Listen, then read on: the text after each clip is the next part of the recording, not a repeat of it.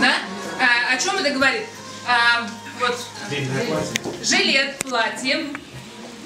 Смотрите, э, здесь внимание обращаем. Зимой, зимой буряты не одевали варежки. И эти манжеты служили, да, прикрытием. Здесь э, у зимнего, естественно, у зимнего варианта здесь мех норка, соболь, писец, чернобурка и так далее. Закрывалось, и это было в тепле, правильно? Особенно, когда на, на лошади скачет. Почему, э, что э, означает, что означает, как вы думаете? На что, На что похоже манжетик? Как вы думаете?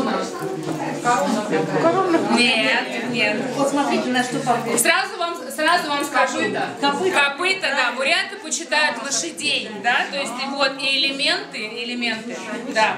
Потом смотрите, что еще? Почему, э, почему в женском, в женском костюме э, э, у жилета разрезы? У замужней женщины. Почему разрезы? Правильно, совершенно верно. Вот уже опять подсказка, да? То есть верхом скакать, оп, удобно, да? Жилет разрез, села и наездница поскакала. Вот. Потом смотрите, бубенчики. Да, вот Это о чем говорит? Это все серебро, это натуральное серебро. Все пуговицы сделаны из серебра. Э, Это о чем говорит? Потому что издревле буряты верили в духов, да? И, э, естественно, были и хорошие, и плохие духи. И это отпугивало плохих духов. Особенно у детей ставили обязательно такие пуговички. То есть у мамочки, да, у мамочки, в, да, то есть это костюм замужней женщины, у нее должно быть такой атрибут присутствовать. И обязательно, смотрите, у бурят всегда пуговицы э, застегиваются как? Почему, э, еще потом расскажу. Снизу вверх. Это о чем говорит? Чтобы вы, э, вас не давило, а наоборот, чтобы вы были все выше, выше и выше.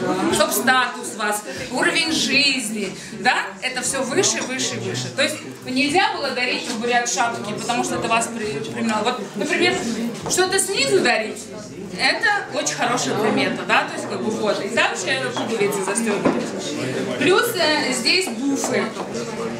Здесь тоже сшито по э, специально э, много защипов. И здесь, э, э, здесь платье тоже много защипов. Это указывается на 365 дней в году. Это э, сколько дней в месяце.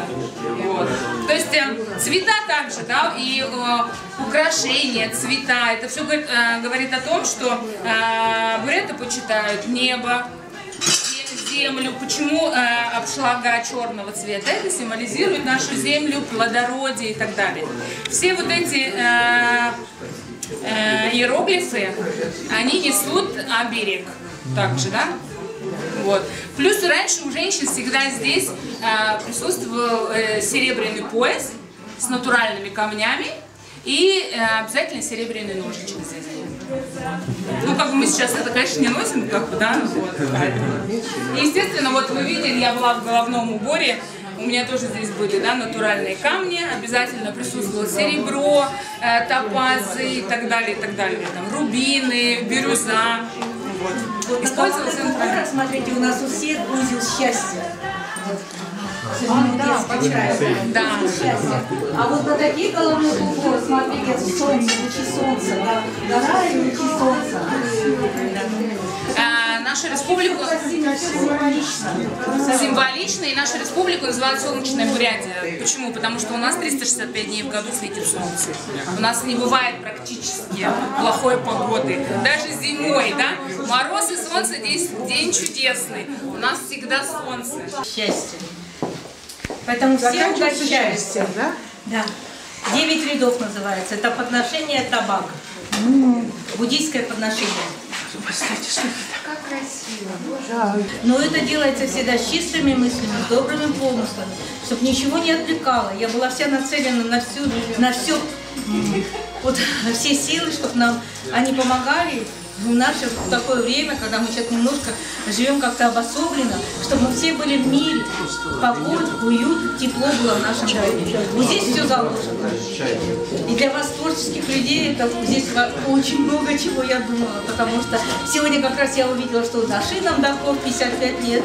Это известный у нас скульптор, э, куклы делает э, бурятский наш. Ой, даже не могу, гений тоже. Ну, Батон Дугар, а Даши Намдаков, это вообще гений. Даши Намдак. Намдаков, Намдаков. Намдаков, да? Да, Намдаков. у нас- И в отделении Академии наук Бурятии самый большой перевод древнекитайских рукописей медицинских.